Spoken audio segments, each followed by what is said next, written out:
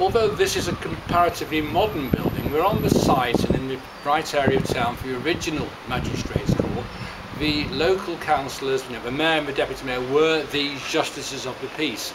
So when the witches were cross-examined, firstly at the parish church, but later on here in the equivalent to the Magistrates Court, it's only a few years ago that this building was used to, for a radio version of a play made based on the story of the Bideford Witches. There's up room. The room is still there. It's quite atmospheric. You get the feeling of a George's simple daughter was a space. prostitute. Okay, I'll start.